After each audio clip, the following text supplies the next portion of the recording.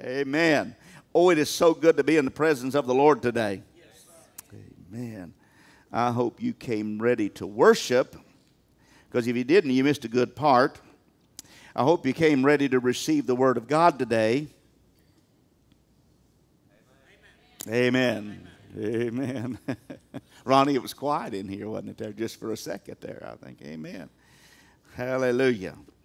Well, I want to talk to us about a subject today that all of humanity has had to deal with. All of humanity.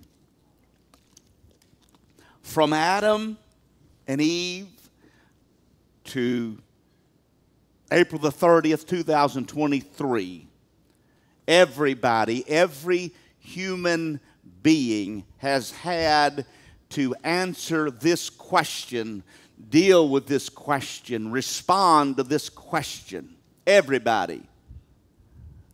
And it is simply what are you going to do with Jesus? What are you going to do with Jesus? It doesn't matter to you what I do to, with Jesus. The question that you must ask yourself is what will you do with Jesus? Because what I do with him won't get you into heaven or keep you out.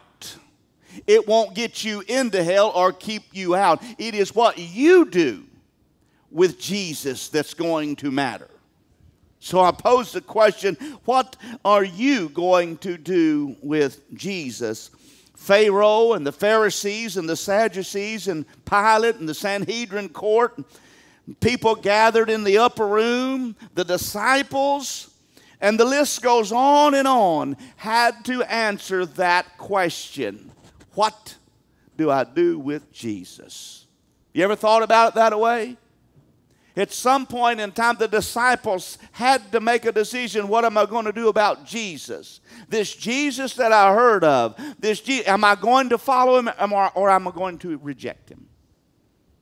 Even the disciples, we know that Pilate wanted to wring his hands of this man called Jesus. He said, I find no fault in him, but I don't want to do anything with him. You do something with him. And then the rulers of the Jewish rulers, said, I don't want to do anything with him. You do it. You're the king. But they actually had to answer the question What am I going to do with Jesus? You got to answer that question today. What are you going to do with Jesus? You say, Well, I've already accepted Jesus Christ in my life. Well, amen. Praise the Lord. What are you going to do with Jesus then? Where is he at in your life? What will you do with Jesus once you accept him? Do you put him on a shelf? Do you think about him on Sundays? Is that the first time he comes across? Well, let's see. Well, no, we got church on Sunday. What are you going to do with Jesus? It's a question that you, uh, you will answer. You say, Pastor, I don't know if I will or not. Oh, you will. The Bible tells me that one day every knee's going to bow and every tongue's going to confess that He is Lord, and that if you don't do that, you will be sent to an eternal damnation called hell. He didn't send you there, it's because you reject Him, because you decided not to do anything with Jesus. Oh, you're going to have to decide what are you going to do with Jesus. I hope you're getting the message today. You're going to have to do something about Jesus. There's only two things that you can do with Jesus. Everything can kind of be summed up in these two areas. Two things, if you're taking notes. You can reject him or you can embrace him. There is no in between with God. You can reject him or you can embrace him. In Revelations chapter 3, verse 15, I have a bunch of scriptures, no main text this morning. I guess I'll just say my main text is the Bible. Just from the beginning to the end, you got to deal with Jesus. What are you going to do with him?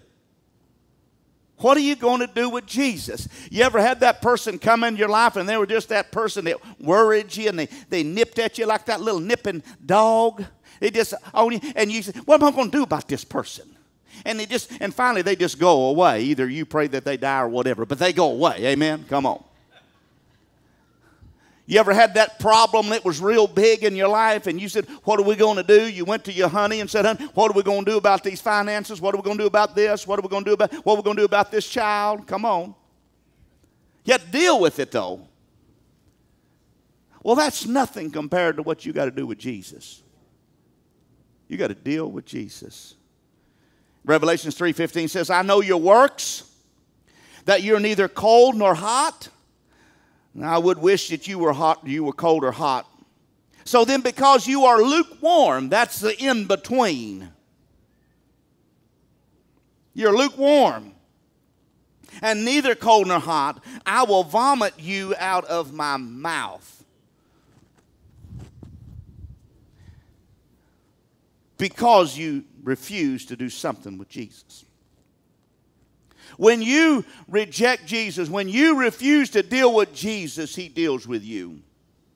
He says, If you're lukewarm, I'll spew you. That word vomit means to spew as a projectile. What are you going to do with Jesus? You got to do something with him. You're going to have to do something with Jesus.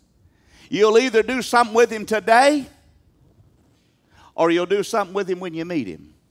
But you will do something with Jesus.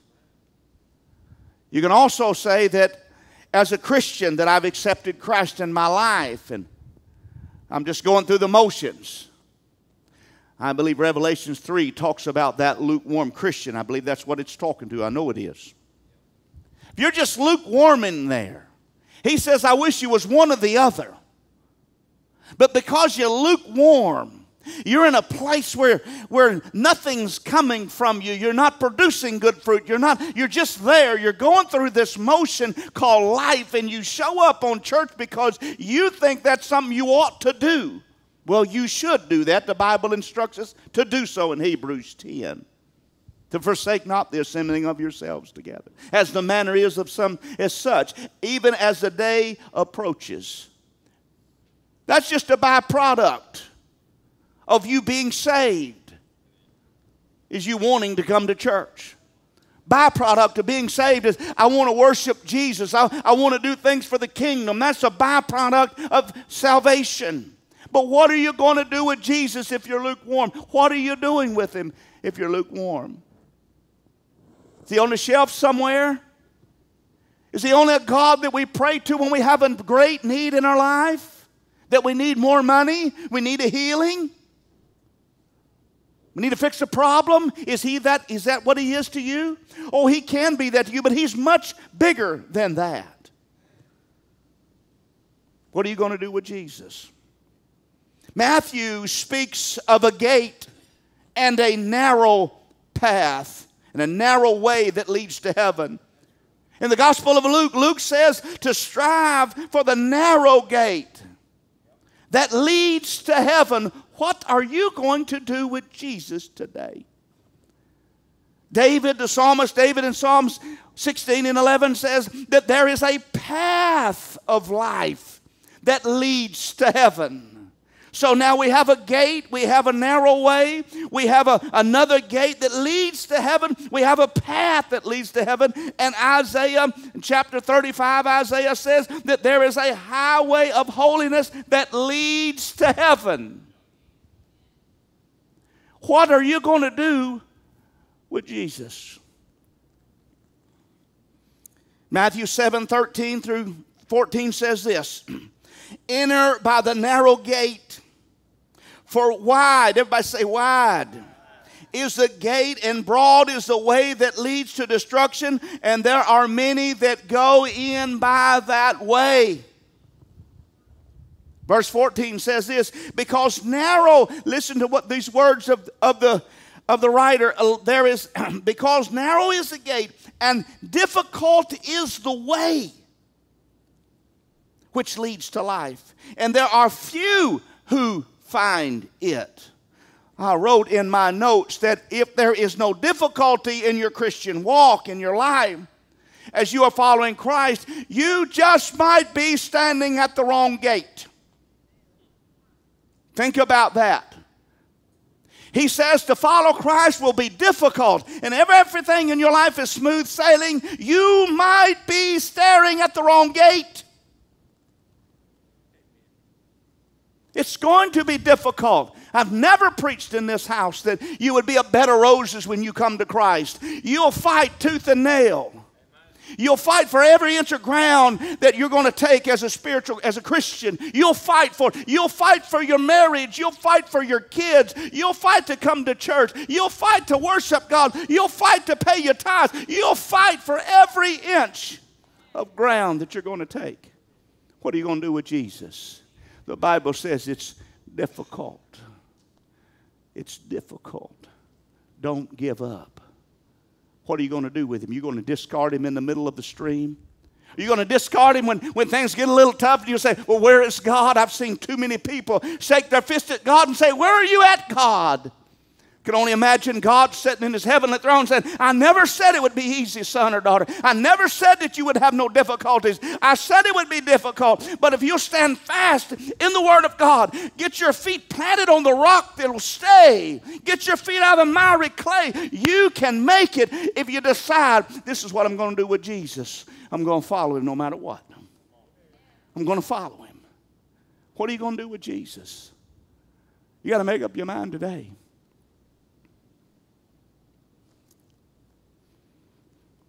Isaiah 35 speaks of this highway of holiness. You find it in the latter part of it's like verse 9, 10, 11. We won't read it this morning. You go do your homework on it. Isaiah 35 speaks of this highway of holiness that only the redeemed, listen to me because I'm going to make a point, that only the redeemed will walk on. There's this highway of holiness that if you're not trying to be holy, if you're not surrendered to Christ, you don't get to walk on this highway. It's a highway of holiness that Scripture says only the redeemed, blood bought, born again child of God get to walk on this highway. You can want to, but you can't.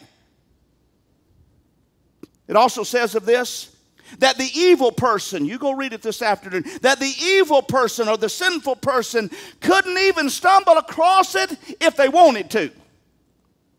You can't get on this as a, as a halfway Christian because there are no such things as halfway Christians. Come on, somebody. You either are a Christ follower or you're not. You be vomited, spewed from his mouth. This Isaiah the prophet speaks of this highway of holiness that the redeemed will dance and rejoice as they enter into Zion. This is a somewhat of a metaphor of us entering to heaven and also of the children of Israel going back to uh, going back to uh, the city of uh, David after the Babylonian captivity. But we, you should be dancing and rejoicing and grateful as you enter into Zion. You're not there yet. You're, if you're here in this room, you're not in heaven yet. But while you're here, you ought to be rejoicing that God has saved you. You ought to be dancing that God has set you free and delivered you from bondage and from addictions and from those chains that bind us, from the weight of sin. We should be rejoicing about that. That's why the world's not excited about coming to church. That's why the church is not excited about coming to the church. Nobody's excited about what God did for them. Nobody rejoices that God set me free. God, nobody does, uh, rejoices that God has set you up on a, a rock to stay. Nobody rejoices. They just think God's somewhere out there and I've got my fire insurance card. I don't want to go to hell. Is that what you want to do with Jesus today? Jesus, I just don't want to go to hell. That's all I want, Jesus. I just don't want to. Let me live my life the way I want to live it. Let me indulge in the fleshly desires. Let me, let me get into drunkenness and addiction and fornication and adultery and thievery and jealousy and envy and lying and malice and strife and dissension in the church and in the world. Let me get into that, Lord. But I just don't want to go to hell. Well, you're just like everybody else. Nobody wants to go to hell. I've never asked one person in my life, and I've asked a lot of people about Jesus, Do you want to go to hell? Nobody ever says, Yeah, sign me up. You going tonight? I'd like to go today. Never, I've never asked anybody, and they told me that. That would be foolish.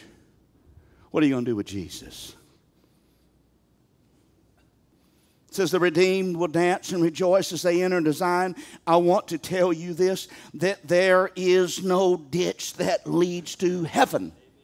There is no other way that leads to heaven. You can't get there any other way than a, a narrow gate, a righteous path, a highway uh, of holiness is the only way you will enter into the kingdom of heaven. You can't get there any other way. Why do we want to make up our own method to get there? I'm telling you, you got to do something with Jesus, and you better do the right thing with Jesus. Because if you don't, eternity for you will be a hell, a literal hell. The Bible speaks of a hell that is prepared for, his, for the devil and his angels, not for us. But if you reject Christ, you will go to hell for eternity. Some of you are new. I'll tell you my story. Eternity is like this it's if one sparrow went to the east coast of the United States, picked up one grain of sand, flew all the way to the west coast and dropped it off, and did that one grain of sand at a time until all of the sand on the east coast was transported to the west coast, eternity would have just started. It's going to be a while. I think we might want to answer the question today what am I going to do with Jesus? Because once you step across from this life to that life, there are no redos. There are no second chances. You don't get to start over. Now is the time. Today, starting to, is the dress rehearsal for heaven. It's something for us to think about. It's something for you to think about. Because if you're going to answer this question, Pastor, I don't believe it, you don't have to believe it. You don't have to believe it. You, don't, you can just do away with the question, but you're going to deal with Jesus. I love you. John 10 1 says this Most assuredly I say to you, he who does not enter the sheepfold by the door, but climbs up some other way, the same as a thief and a robber. And we know that Scripture tells us that thieves and robbers do not enter into heaven. What he's saying in this passage of Scripture that his sheep, they know the voice of the shepherd and they come the proper way. There's only one way through the sheep gate, and that's through the gate. You can't climb up another way. There's no other, there's no other religion that, that's correct that says there is another way. If they said there's another way other than being blood bought, born again, child of God, giving your heart to life, it is false. There's one way. And it must be through the blood of Jesus Christ. It must be through the forgiveness of sins that you ask the Lord to forgive you of your sins and you repent of your sins and you turn from your wicked ways and you follow Christ. You give Him your heart. What will you do with Jesus? Hallelujah. If you reject Him, Matthew 25 I'll read verse 46, but there's 31 through 46. You can read all of that at home. And these will go into, away into everlasting punishment. Who are these? These that reject Jesus Christ as their Savior. These that take the question, what am I going to do with Jesus, and say, I'm not going to do anything with him. I'm going to reject him. See, you not doing something with Jesus means you automatically reject him.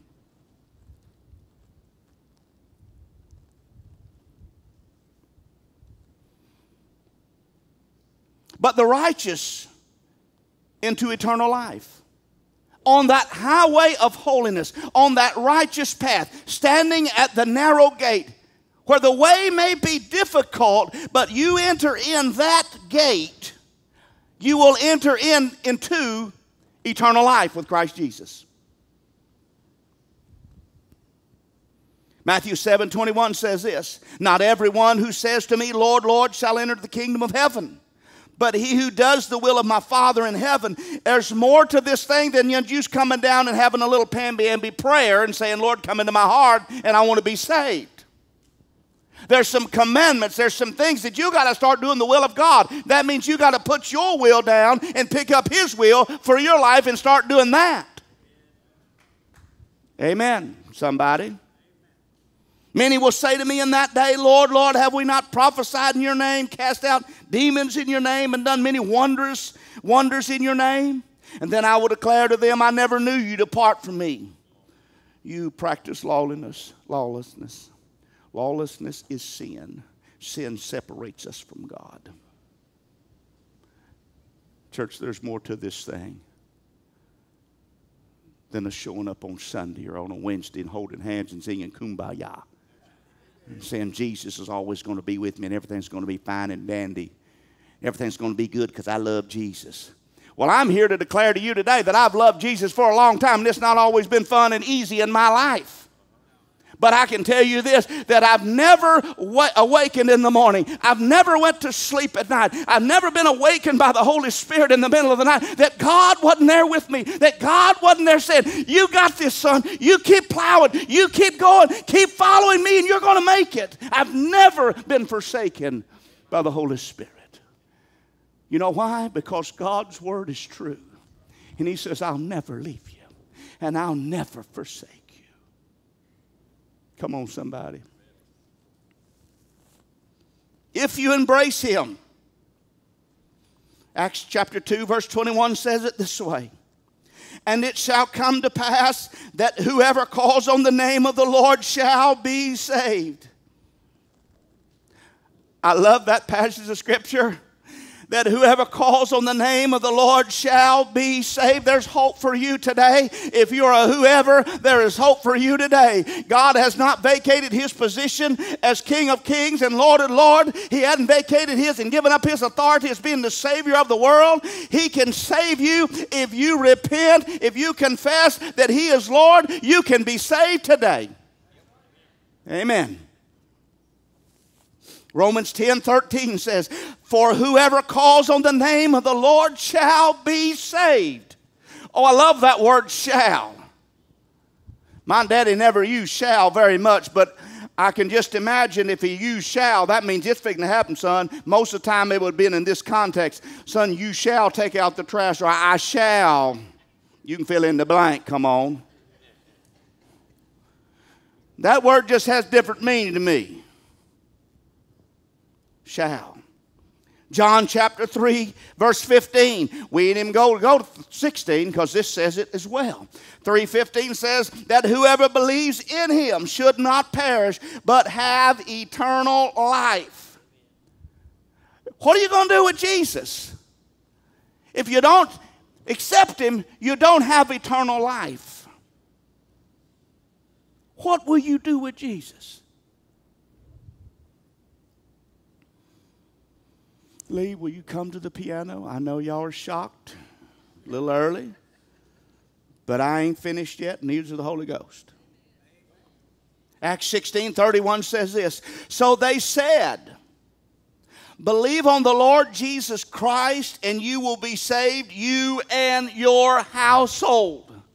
What that context is, where Paul and Silas, they were in the jail and the earthquake came and, and the jailer was scared. You remember the story? The jailer was scared that all the prisoners had run off and all the shackles had been released from their hands and their feet and the doors swung open and the jailer was about to, the Philippian jailer was about to throw himself on his own spear, if you will, kill himself.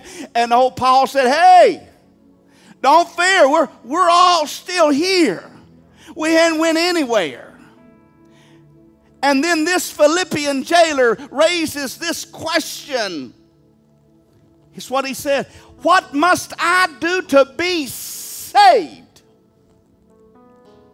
And they said, Paul and Silas, believe on the Lord Jesus Christ, and you will be saved, you and your household.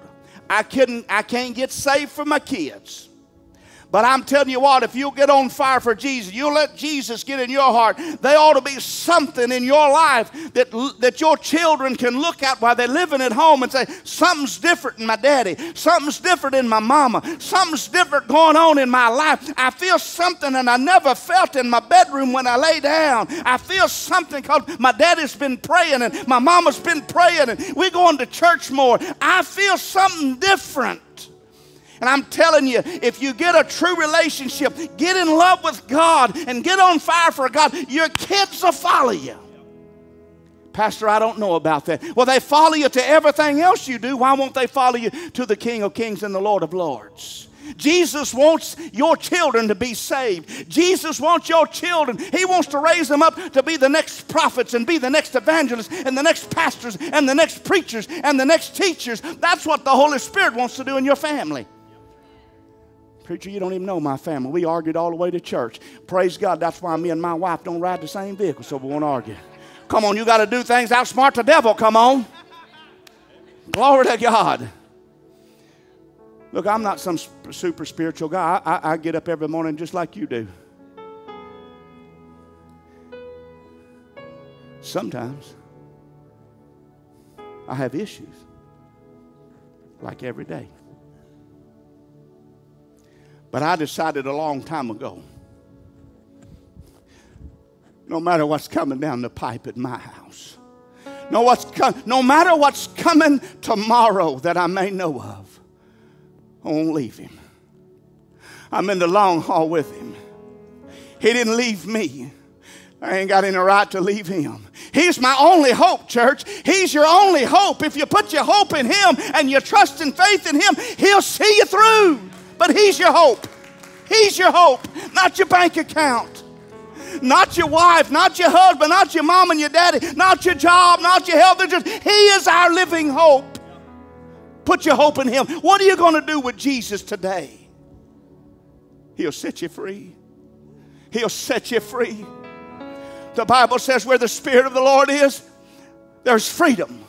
And whom the Son, John says, whom the Son sets free is free, not only free, but free indeed. In other words, He seals it. You are free. If you put your trust in Jesus, what are you going to do with Him? What are you going to do with Him, church?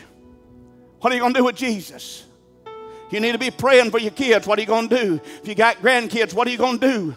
What are they going to do with Jesus? What are they going to do with Jesus when they get up in the morning? What are they going to do about him when they get faced sitting in the back seat of a car with a young boy or a young man? What are they going to do with Jesus? Are they going, are they going to say, I reject Jesus and, and let something happen in the back seat of a car on date on Friday night? Or they're going to say, Oh, I'm standing with Jesus. I'm not going to leave Jesus. I'm in the wrong spot at the wrong time. I got to go. Are they going to be able to call you up and say, Daddy, Something's about to happen. I need you to come get me. Oh my God. Why do we allow our children to be in places like that? I'll tell you why. Because we don't value God. We say, God, somewhere over here, and if He decides to do this, He will. But we have power in prayer. Pray for your babies. Pray that they'll see and come to know Jesus early on. I've prayed for my kids and grandkids, more my grandkids than my kids. I feel like I could beat my own kids, but these grandkids, it's a little different. I beat Jesus into them. I've been praying for all my grandchildren. God, let them love you more than anything or anybody in this world. Because, see, if we get that right, if we can get our children in love with Jesus more than anything or any person, we don't have to worry about them because Jesus has got them. They're in love with the, the Savior, they're in love with the Father, they're in love with the Holy Spirit. That's why we're having trouble with our families. Come on, church. What are you going to do with Jesus? What are you going to do with him? What are you going to do with him? You going to choose to follow him today? You're going to say, Well, I already follow him. Do you know you can never exploit God in your life. You can never get to the pinnacle, the top of what He wants you to do in your life. And I think that's what we think. We think so many times we get saved and we say, Well, I've done, I've done all, I, I, I praise God, I've done reached the pinnacle.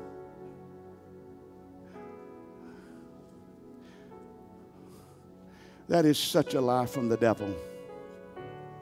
That is such a lie from the pit of hell. Once you get saved, you ought to be working like a madman trying to get somebody else saved. Come on. It ought to be in our heart that Jesus saved me and you know what he brought you from? Just for a second. Just think back where Jesus brought you from. Just, just for a second. We ain't going to it. Just, you know where he brought you from. Do you want to go back? Wouldn't it be awesome? Because you're not the only one that went through what you went through.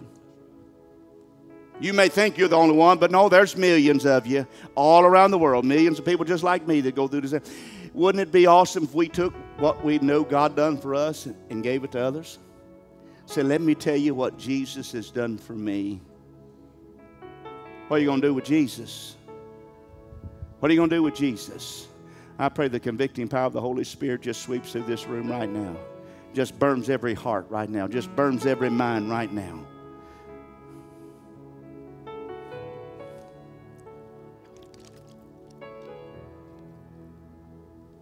Pastor, you don't know where I've been. No, sir. No, ma'am, I do not know where you've been. Let me put a little P.S. in there. Nor do I care. And I'm going to speak for this body, nor does this body call LVA Church care. What we care about is how we can help you from this point in your life when you decide what you're going to do with Jesus, and we're going to help you move forward. But what you've done in your past, I cannot change, nor can you. You didn't lose your memory when you got saved. Some of you got to thinking about some of them places and some of them people and some of them things you was doing before you got saved. You didn't lose your memory. What you lost was your sin debt. What you lost was that bondage. What you lost was that oppression and depression. What you lost was that hold that the devil had on you. That's what you lost. But what you gained was freedom and expression to worship the living God. That's what you got.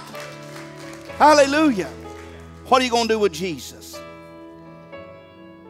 If you've denied him like Peter, probably all of us have at one point in our lives. If you've doubted him like Thomas, if you've betrayed him like Judas, hear me.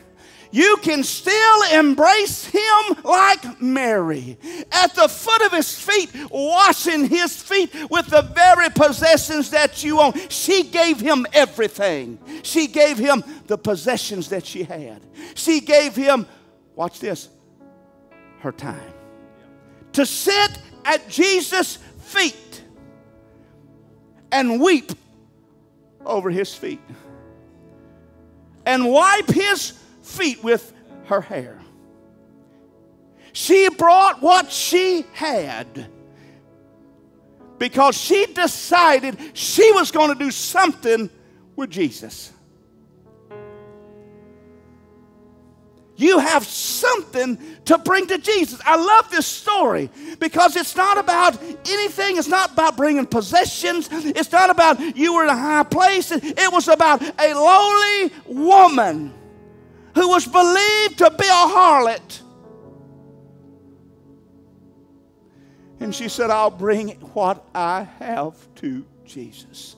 I'll bring my brokenness. I'll bring my sin. I'll bring my shame. I'll bring my condemnation. I'll bring every addiction that I had to sleeping with men or whatever it is. I'll bring it and I'll give it to Him. And He'll just, I got it. Nailed it to the cross. Remember the woman at the well? Caught in the very act of adultery. Now, I don't know about you, but if you caught in the very act, that means you got caught in the very act. That's what the Bible says. And remember all those religious people, and if you're in here, I pray you repent to the Lord right now. All those religious people that wanted to cast a stone at the woman. Y'all remember the story? They bring her in front of Jesus, trying to trap Jesus. Oh my God. See, what I love about this is in the middle of trying to trap Jesus, he still sets people, people free. They bring him and say, bring this woman and say, Jesus, what do you think about this? She was caught in very act. What does the law say? Oh, he doesn't back up from the law. I love the way he spins it though. They said, the law says she ought to be stoned. He said, uh huh. He talks about the sin. Jesus said, oh, Well, that's fine. But which of you is without sin? Cast the first stone. Love the story. One by one, the accusers begin to leave. I can only imagine that the woman was just in shame with her head down in front of Jesus. Jesus even had to get her attention and say, Woman, where are your accusers? I don't see any. Praise God. Well, neither do I accuse you. Come on, there's something that gets me worked up about that verse. Because I was a sinner. And I've been saved by grace. By His mercy, He saved us. What are you going to do with Jesus? What are you going to do with Jesus? Don't be at the wrong gate. Don't be standing at the wrong gate waiting for that gate to open up. Enter into that narrow gate. Don't be standing in the ditch. They don't name ditches, they name highways, they name roads to get you to a place. No one's ever told me, go get in this ditch and you'll get to Little Rock. Go get in this ditch and it'll take you to New Orleans. No, they don't say that.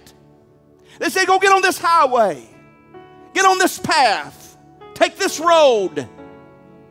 You'll get there. You know what dishes are designed to do? Carry stuff away from the road.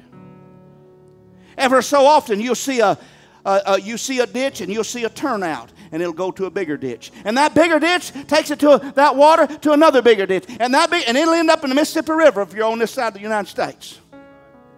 It'll end up there. It's diverting stuff from the highway.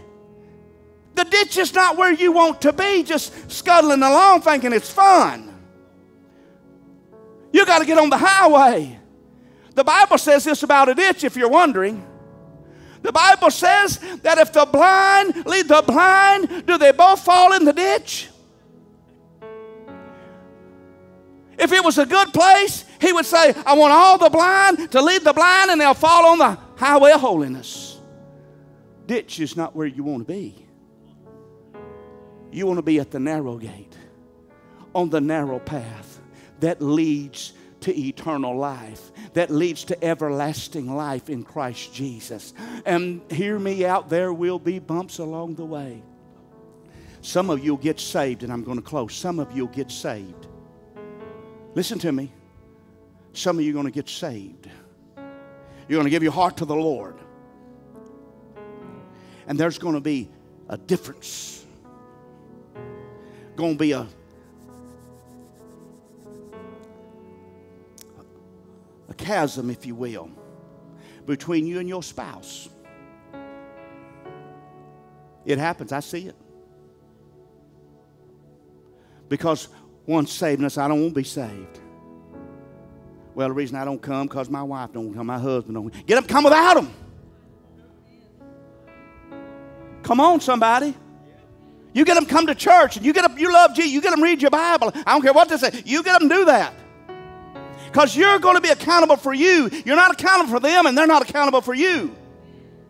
Don't let somebody drag you to hell. Don't let your kids, because they heathens, keep you from coming to church. Grab them up, bring them in, set them down on there, tell them you'll kill them, tell God they died if they don't act right in church. Come on, somebody. Bible says I'm supposed to train the child. The child ain't supposed to train me. We got that backwards today, by the way. I had a parent one time tell me, Well, I can't go out to eat because little Johnny's so bad.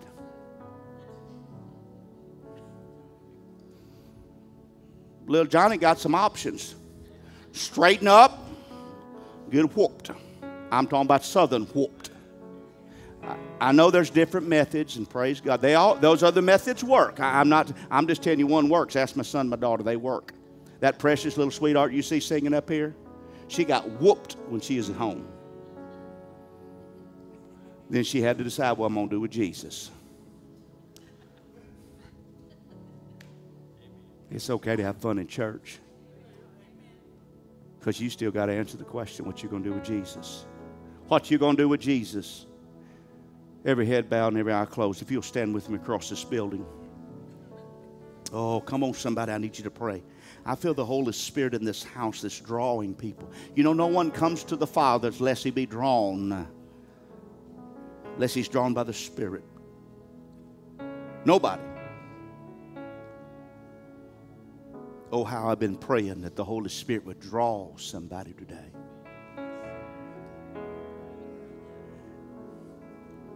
And then I prayed out right after that, Lord, when you're drawing them,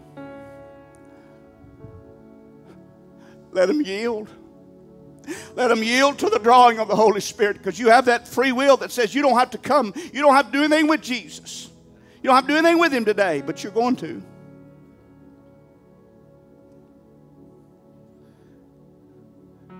You haven't made up your mind in this building, if you've never, maybe you have a hundred times over,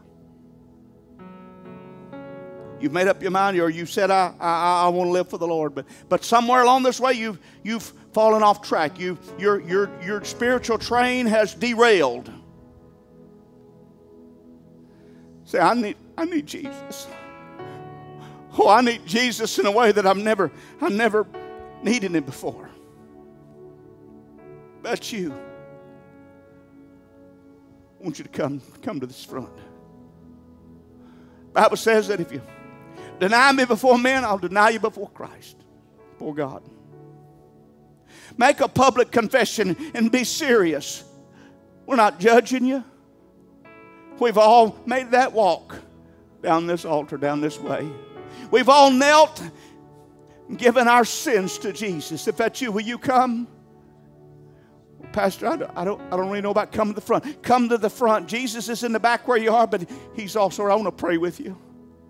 I want to pray with you that you would accept the Lord Jesus Christ as your Savior That you'd be on fire for God. That you'd change your ways. There'd be true repentance in your heart. Is that you? Will you come? What are you going to do with Jesus? Well, you're going to have to do something with him. What are you going to do with Jesus? What are you going to do with him, church? Sir, ma'am, what are you going to do with Jesus?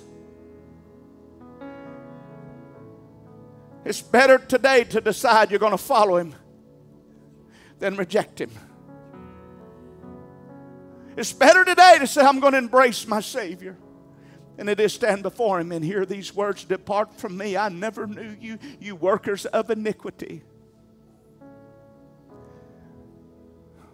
Is that you today? Will you come? Come on, saints, I need you praying that the power of the Holy Spirit would draw men, women, and children today.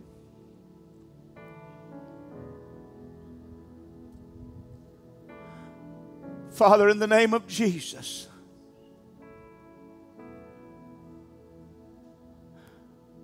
I pray that the lost are drawn today in this service. Today, right now, Lord. Lord, that the yielding of the fleshly will to the things of God would take place right now in the name of Jesus.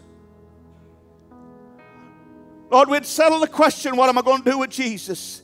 We can leave and say, I know what I've done with Jesus. I know what I've done. I've made him my Savior. I've made him my King. I've made him my Lord. I've made him my Master. I'm going to serve him. I need some people praying with me right up here.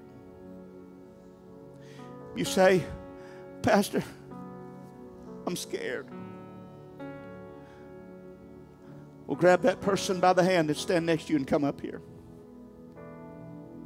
The Bible wants you to be fearful. The Bible says that God didn't give us a spirit of fear, which is being scared, but of power, love, and a sound mind.